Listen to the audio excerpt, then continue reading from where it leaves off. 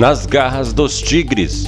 O sonho palmeirense de conquistar o Mundial de Clubes teve de ser adiado e a tão aguardada final contra os alemães do Bayern de Munique não irá acontecer.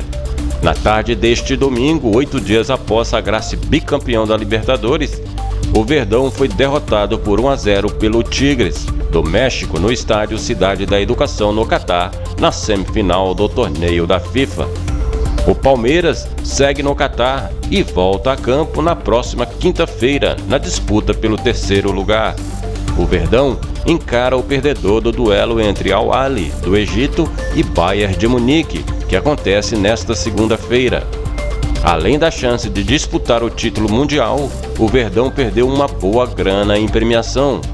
A FIFA paga 4 milhões de dólares ao segundo colocado e 5 milhões de dólares ao campeão.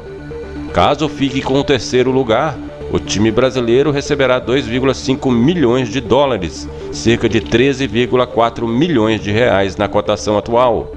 O quarto lugar leva 2 milhões de dólares, cerca de 10,7 milhões de reais.